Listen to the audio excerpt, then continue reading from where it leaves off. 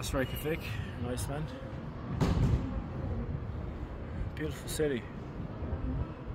Definitely worth a visit.